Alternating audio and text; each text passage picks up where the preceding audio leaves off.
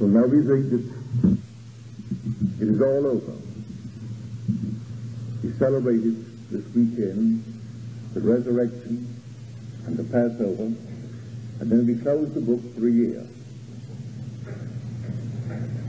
And that is not the story of the Bible.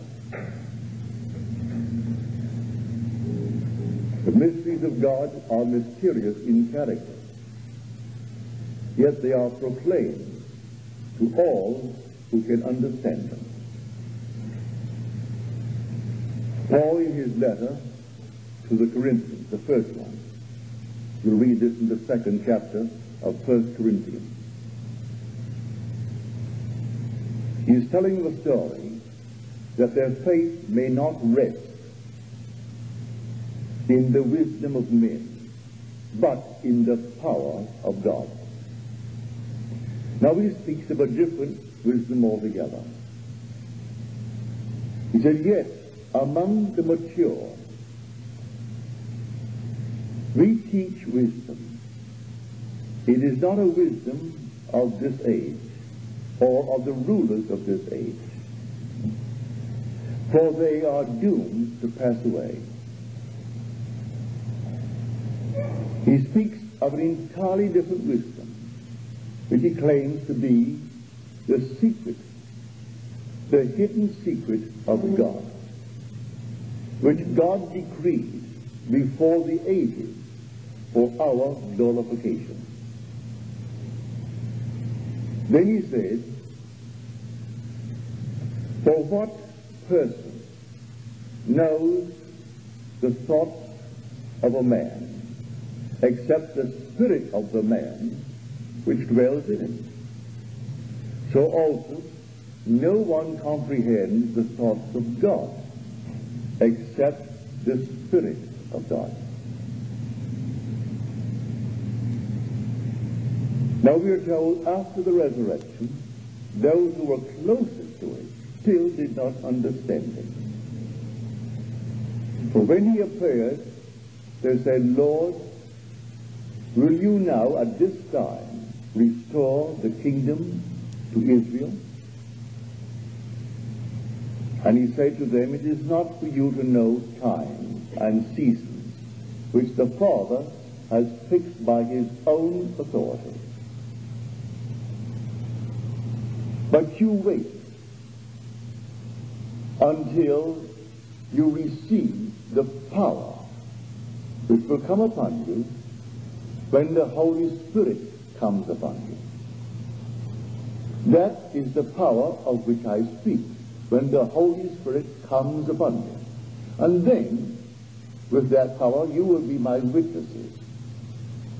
Witnessing in Jerusalem and in all Judea and Samaria to the ends of the earth, but not until it comes upon you. When it comes upon you, you're told the Holy Spirit is one remembrance. He'll bring to your remembrance all the things that I have told you. The whole will come back. And then you will actually reproduce within yourself my story. That's what he's telling. He now disappears. He has now revealed to them the true Exodus. That the Exodus of the Old Testament was an adumbration, a foreshadowing. Resurrection, followed by the birth from above, is the true exodus from this world of tears, this world of bondage. So the Jews celebrated the exodus, and they're still in bondage. And the Christians celebrated the resurrection, and they haven't yet been resurrected. That whole thing is a drama. When the Spirit comes upon you, which is the Spirit of power, then He will bring to your remembrance all that I have told you, which I have received from my Father. So within the individual upon whom this power comes, which is the Holy Spirit, the whole thing will unfold within him. They completely misunderstood it, and they thought the restoration of a national theocracy was what was intended, was the coming of Messiah. They did not realize that the truest coming of Jesus was the manifest power of the Holy Spirit. That when this power comes, it lifts you up from within yourself. And then you actually are the being that the world yesterday celebrated as about his resurrection. You are that one spoken of in Scripture. But you will not know it and be a witness to this until the power comes upon you. And that power is the power of the Holy Spirit. And the whole thing unfolds within you. Now, you've heard of the story. You all know the story. Did you ever dwell upon the character called Judas? And today we speak of a man who is a betrayer of a trust. He is a Judas. He simply betrayed the trust, any kind of a trust. A man just died in New York City in prison who betrayed the trust of the mafia. He was one of the leaders in the mafia. And he gave to the FBI the true name, our thing, Cosa Nostra. No one claimed his body. There he was, he died in prison. Because there was a price on his head, a fabulous price to kill him. And so he was protected while he was in prison because he had revealed the secrets of this thing that wormed its way into society called our thing. Where they made billions if you could not put a finger on it. Therefore it wasn't taxable. But he betrayed it, so he was a Judas. Well, that is not the Judas of Scripture. But who is this Judas? We are told that at the Last Supper, he said, The one to whom I will give the sop. For my time has come. Everything was done on order in the Gospel of John. He never moved. He resisted all action until the right moment. My time has not yet come. Beginning with the second chapter, he said to the brothers in the seventh chapter, My hour has not yet come. And he goes through the entire book stating that the time has not yet come. He is following a divine plan. So here we find predestination in one, and we find free will both joined together in man. He teaches man to exercise free will and shows them how to change the pattern of life. But he is under compulsion to fulfill the Father's will. Everything must be done on time. So the moment of betrayal has come. In the Oriental custom, two would sit on a divan or couch. The honored guest was always the one to whom the host gave the sop. He would take the sop, dip it in to the dish, and then hand it to the honored guest. So the one to whom I give it, he will betray me. He turns and he gives it to Judas. And Judas goes out quickly. And he said to him, what you have to do, do quickly. It is perfectly told, I tell you. I know from experience. What you have to do, do quickly. And Judas goes out. Yet they do not understand who it is going to be who will be praying. Lord, is it I? Lord, is it I? Lord, is it I? Well, it's obvious the one to whom he gave it. The who then is Judas.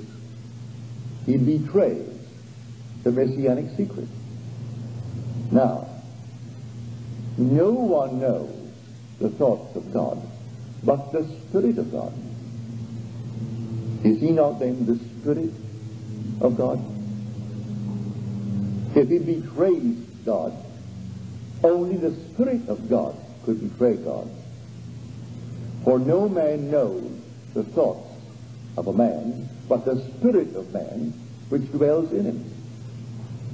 And no one knows or comprehends the thoughts of God but the Spirit of God. Then is he not the Spirit of God? For no one could betray me but the Spirit of myself.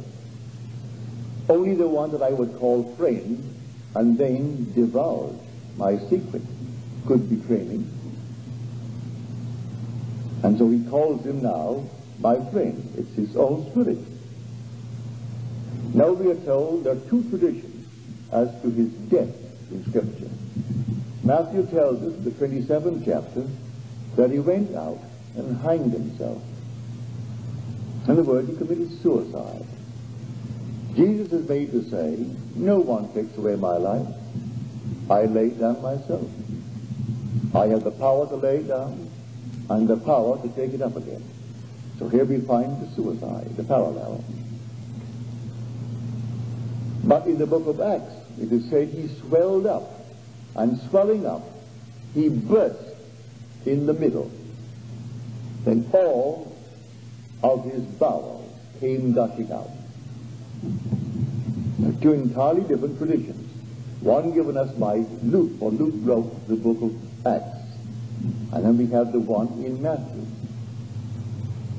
Now, a friend of mine, and he is here tonight, he said, This happened to me a year ago. I didn't tell it because I didn't know. It seemed so strange to me. But this weekend I was reading the 13th chapter of the book of John. Reading of the Last Supper. Reading all about the song. Reading all these things. And I wondered, what nonsense. This sop where he gave the sop to whom he gave it, why ask all these questions? Is it I? Is it I? And then one whispered, ask him who it is. The one, the honored guest, could not be across the street. The honored guest be right next to him, the one whose head was on his bosom. And he dipped this up and gave it. And so what you have to do, do quickly. Now we said, a year ago, I had a vision. And in my vision, I saw you dead. You were dead. You were dressed in white, radiant white. And your bowels were completely out. That was your death. Not understanding it, I hesitated to mention it. Because it struck me at the time that would be Judas. And so I saw you dressed in white, radiant white, and you were dead. And your death was caused by the swelling up and the bursting in your middle. And out came all of your bowels, gushing out, and here was Neville, and he was dead. He saw the perfect vision. I tell you, when it happens, everything in you, all that you behold, Though it appears without, it is within. In your own wonderful human imagination, of which this world of mortality is but a shadow. So all these characters are within himself. And the nearest to him is the spirit of himself, which is Judas. The word Judas is the same as Judah, the one mentioned in the genealogy. So when it comes to, and speaking of the genealogy, and Jacob was the father of Judah and his brothers. It didn't mention the first three brothers. It could have mentioned the first three, it jumps over the three and goes to the fourth one. Judah. Judah means the hand, but it's the hand of God, the power of God. It's the creative power of God, the directive power of God that can fulfill his purpose and his purpose is to give himself to man. The story of Jesus is the biography of God. That's God. Now, when that unfolds itself in man, God has succeeded in giving himself to man. That man then tells it. So today, here we single out an individual as though this thing happened on earth. It didn't happen on earth. This is God's plan. It's all written in Scripture. When it happens in you, you read Scripture to find the parallel. But the whole thing is taking place in a supernatural world, all within you. He speaks to man through the medium of dreams, but he reveals himself in vision. It is God unveiling himself. So one who comes into my world, and no one comes unless the Father within me calls him, he has a vision. He hesitated for quite a while to tell me because of the tradition concerning Judas.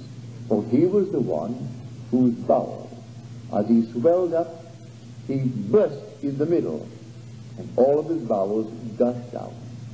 He was the one who betrayed the secret, as I betrayed every time I take this platform. I am telling you the secret of God every time I take this platform.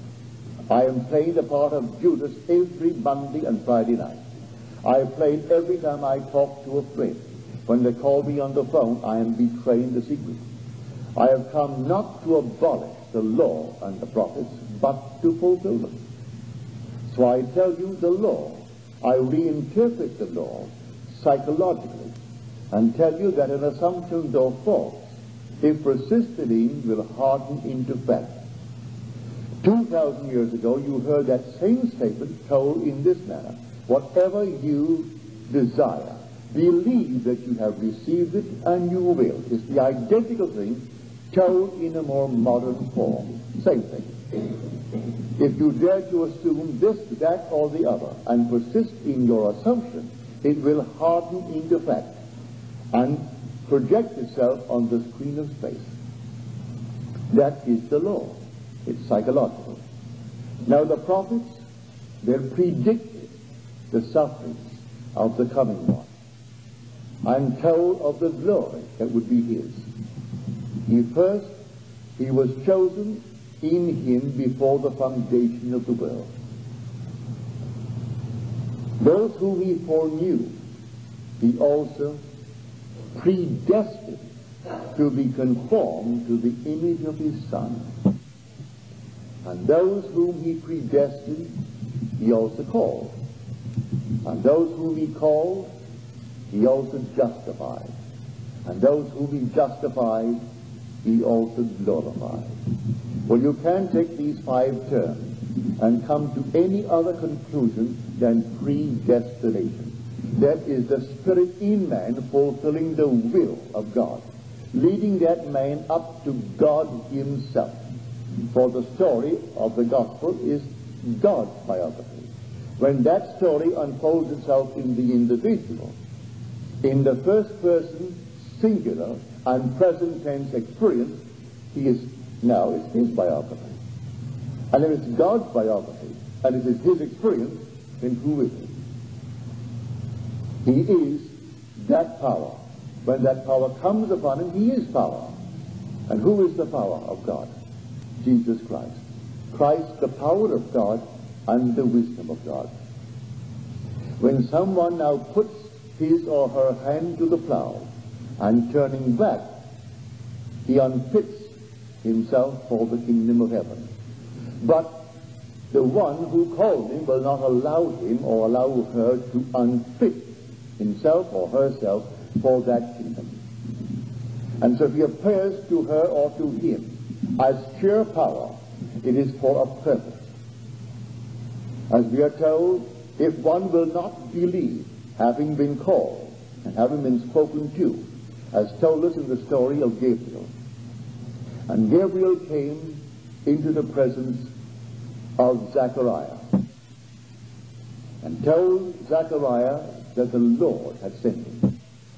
And then told Zechariah of the coming of the birth of John. And he said, How will I know this? For I am an old man, and my wife is advanced in years. And the angel replied, I am Gabriel. I stand in the presence of God. That is, wherever the messenger is sent, God is with him. For the sender and the sender are one. And the word Gabriel means either the power of God or the man of God. You can translate it in either way. So now you want a sign. Well, this shall be your sign. You shall be silent and unable to speak until that day when this thing is fulfilled. And when he came out of the temple, he could not speak. And those who waited on the outside in prayer, while he lit the incense on the inside, were dumbfounded because they knew something had happened when they saw him. He couldn't speak. He was dumb. And then when the child was born, and then on the eighth day, which was the day now to be circumcised, they wanted to know what to name the child. And they thought certainly Zachariah after his father. And he made signs, for he could not speak, to bring him a tablet that he could write. And he wrote on the tablet, his name is John. And as he wrote, his name is John, and the whole thing was fulfilled, his mouth opened, his tongue was loosed, and then he spoke. That was sheer power. Christ is the power of God and the wisdom of God.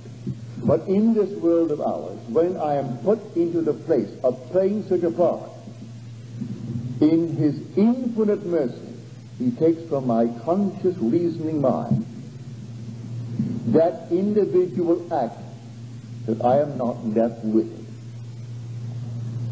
That I will play in the depths of my own being, I will play anything that my Father, who is one with myself, commands me to play. That they who would now stray from the path will be brought back into it.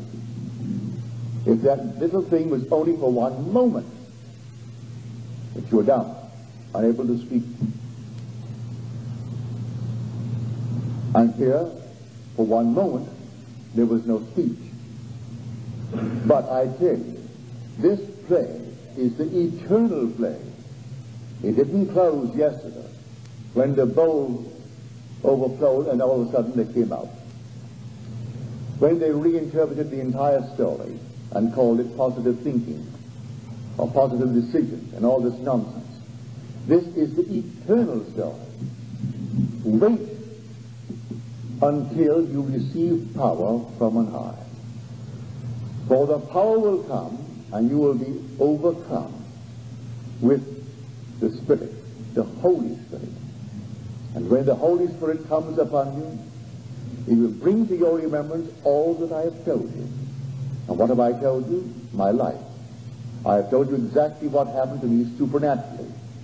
That will then happen to you individually and you will know that I told you the truth.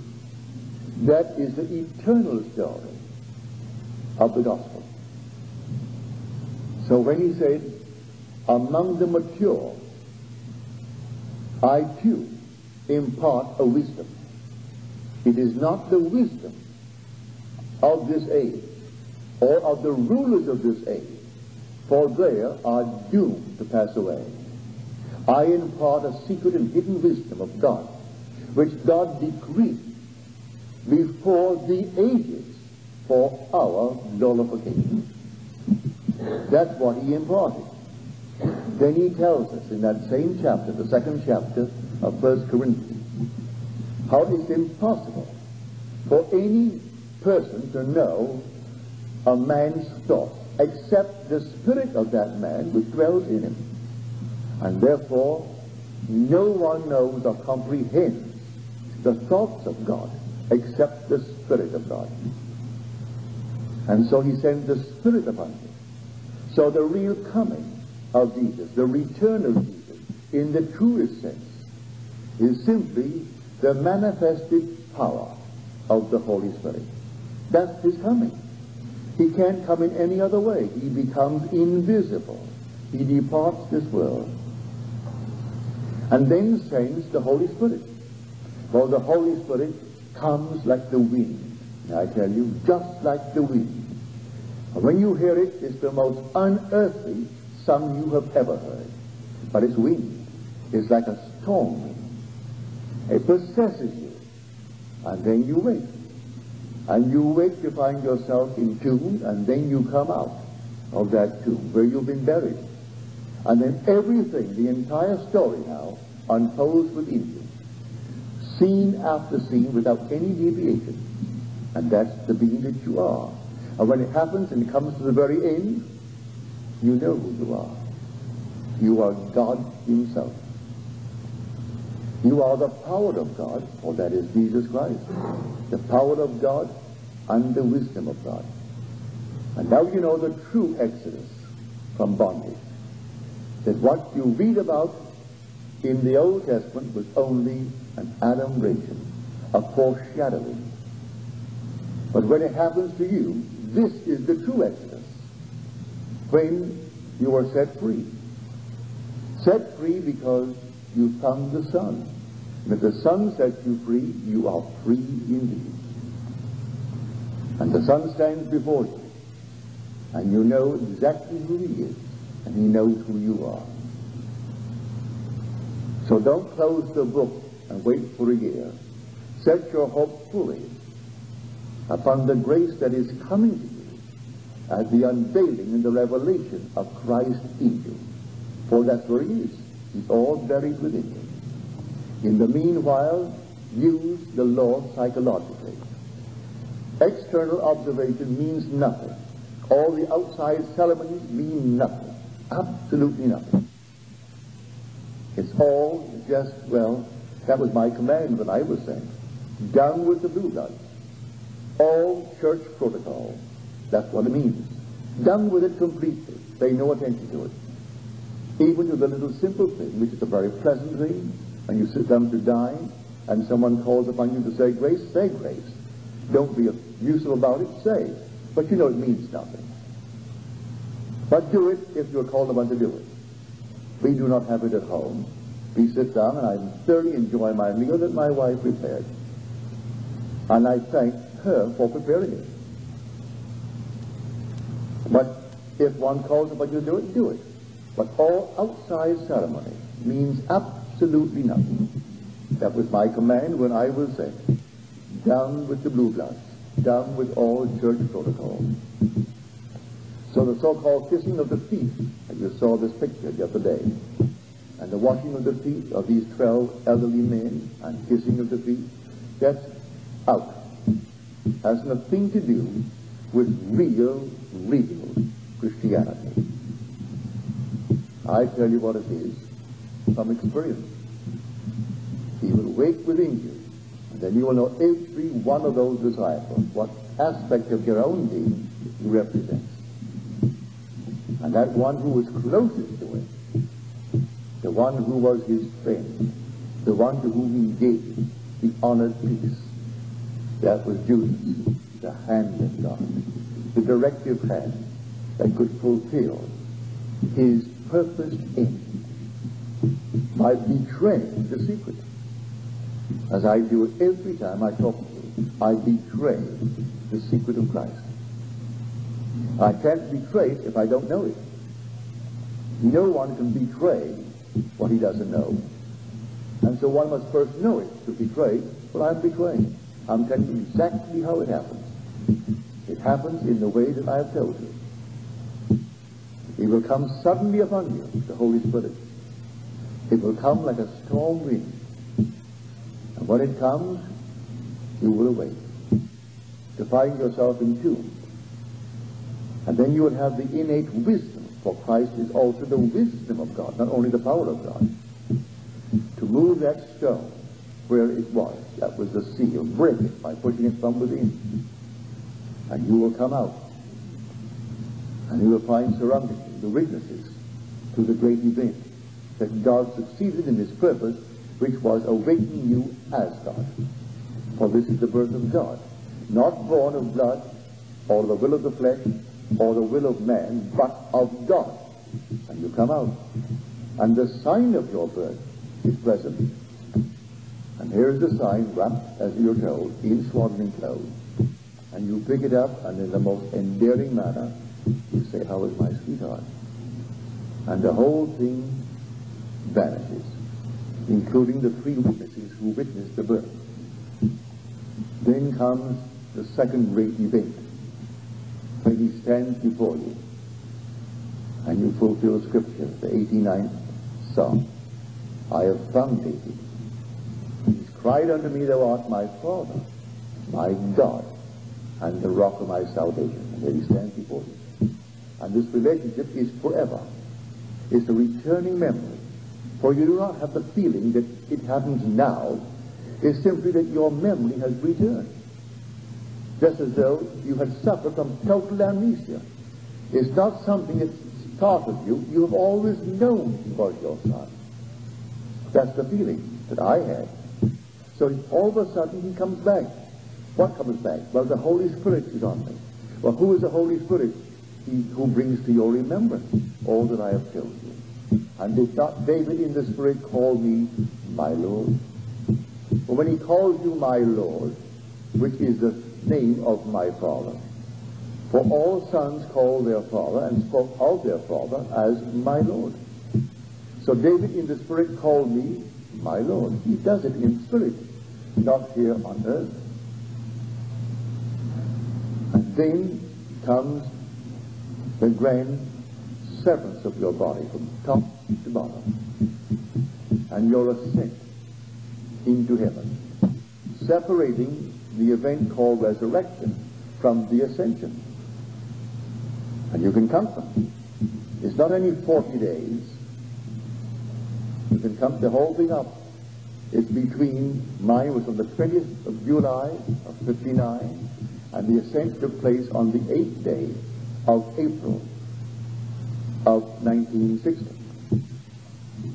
And that's when one ascends, ascends into heaven.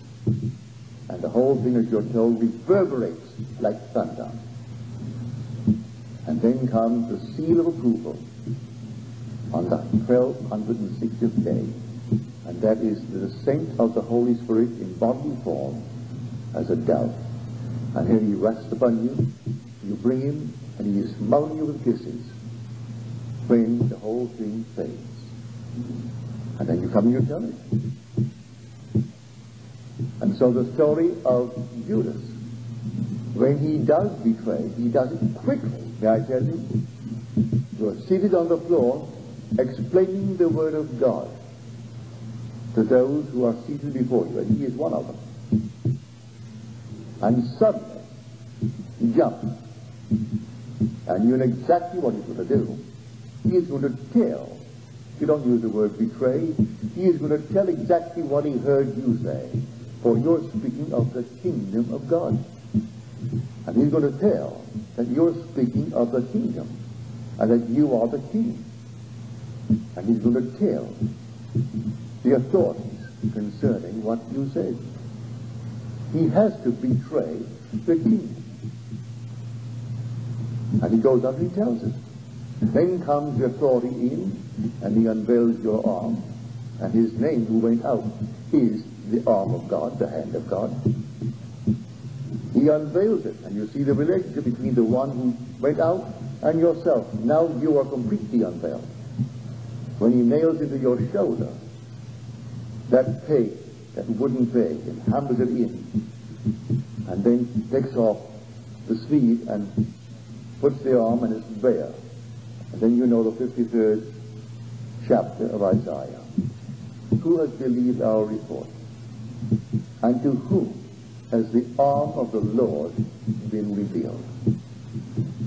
And if everything is placed upon that knee, he has then to bear the burden, but he will see the travail of his efforts, of his labor, and he will rejoice. He'll be satisfied. When he knows that he got through. So you can say to anyone, if there's seeming in any road that seems a harsh road, then no, I consciously am not aware of it. While I play that part, I have to play, for this is a supernatural world of which I speak. It's a supernatural being of which I speak. It's a supernatural part that I'm playing when I play those parts at night. And certain parts, I am relieved of the memory of them, or they have to be done. To jack one up, having put his hand to the plow and turning back, unfits himself for the kingdom of heaven. And what caused him to turn back?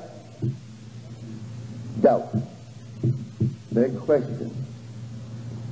And so when Zechariah said, How will I know this? I am an old man, and my wife is advanced in years. How can she conceive and bear a son? He said, I stand in the presence of God. In other words, I am speaking for the one who sent me, and he never left me. Therefore he stands with me. Now sheer power is going to make you dumb. And so he said to her, to him, you will be silent, unable to speak until that which I have foretold has come to pass, because you did not believe the words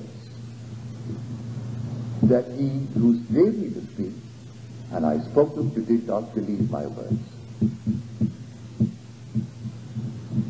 So you'll see me in many roles.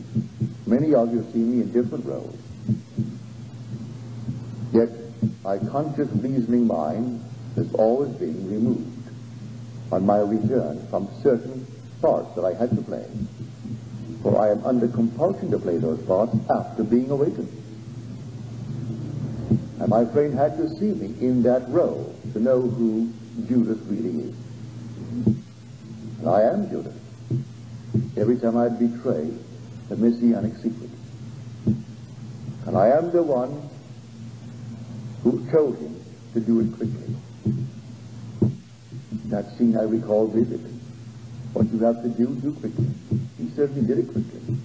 There was no time between his departure and the arrival of the authority who came in and severed my sleeve and hammered into my shoulder that wooden vein on which he then placed the burden. Tell you, this play is an eternal play. It goes on forever and forever and forever. And each one makes his exit, which is the exodus, from this world of tears into a blissful state. But only in that way does he ever make the exodus. So when they sing the hymns of how they were led out of bondage in Egypt into a world of freedom, and yet all are still as enslaved as they were thousands of years ago, then what are they commemorating? So when the real leader, the new Moses comes, they would not recognize him. A new Moses came, he was called Jesus, which means Jehovah. God himself came this time in the form of man. And that's the new Moses. And his life is the pattern that man will one day imitate, actually experience. And therefore it's his pattern. It is his. And it's the only way you will ever make an exit from this world. Death will not take you out of this world. You will die and you'll be restored to life. Just as you are now, in a world just like this. It's terrestrial, and you will still be making your effort as you do it right now. No transforming power whatsoever in the thing called death. There is no transformation in death. Find yourself the same being. Young, yes, but that's not transformation. The same identity. But that of which I speak is a complete transfiguration, a complete transformation of form. You're no longer this little garment. You are glorified, and you wear a glorified body that doesn't have the needs of this body at all. And wherever you go clothed in that body, everything is perfect. There's no place you would go. Walk through hell, it will become heaven. And someone clothed in these garments, walking through heaven, would turn it into hell. So I tell you, you are in for the most glorious thing in the world. What I have told you, I tell you from my own personal experience. I am not theorizing. I am not speculating. I knew that someone had to see me in that robe. And he had this vision a year ago. But because of custom and his association with the idea of Judas as the one whose bowels, first of all, he swelled up, and swelling up, he burst in the middle, and all his bowels came gushing out. And loving me as he does, and believing me as he does, he didn't know how to associate that with the one that he so loved and trusts to tell the truth. But I can tell you they are the same being, for he is the spirit of the one, the honored guest to whom he gave the sop. That is the honored position, not around the table as we have it here in Da Vinci's picture. There was no table. Not in the Oriental world. You sat on a divan, not more than two at any one moment. And divans were around. And the host, if he ever dipped it, he could take a piece of meat and dip it. And the one to whom he gave the meat, or piece of bread, that was the sop. The one to whom he gave it, that was the honored guest. As we today sitting around the table, we sit the honored guest to our right.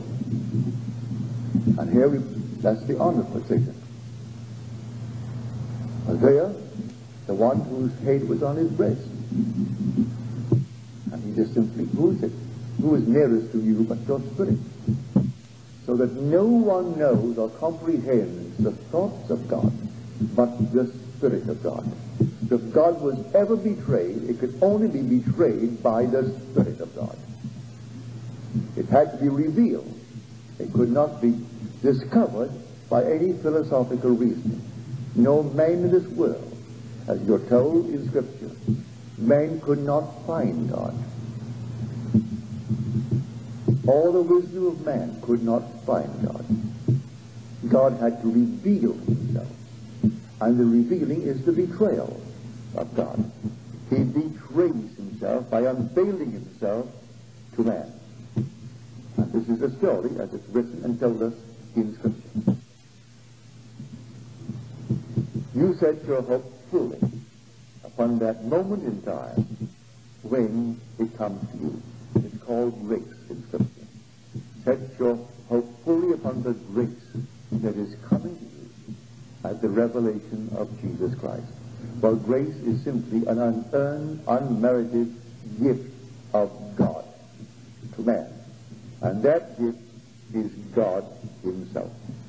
So you're raised from the level of being a son to the level of being the father.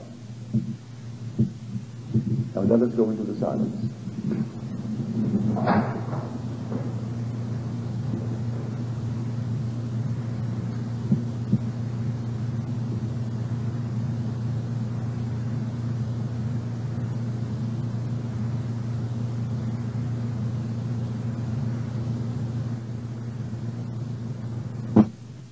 Are there any questions?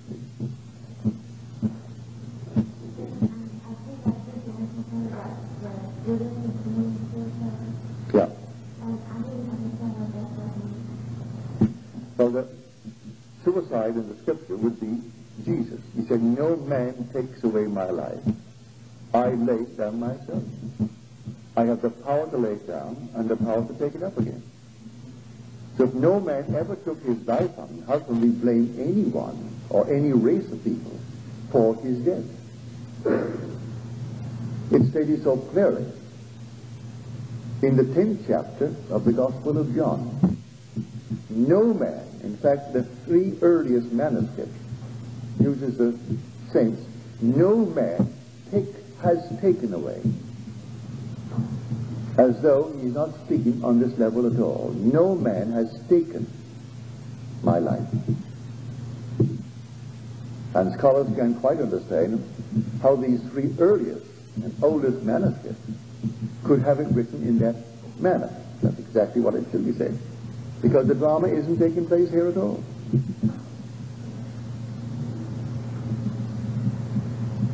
Well, if he took his own life, then he's a suicide, isn't he?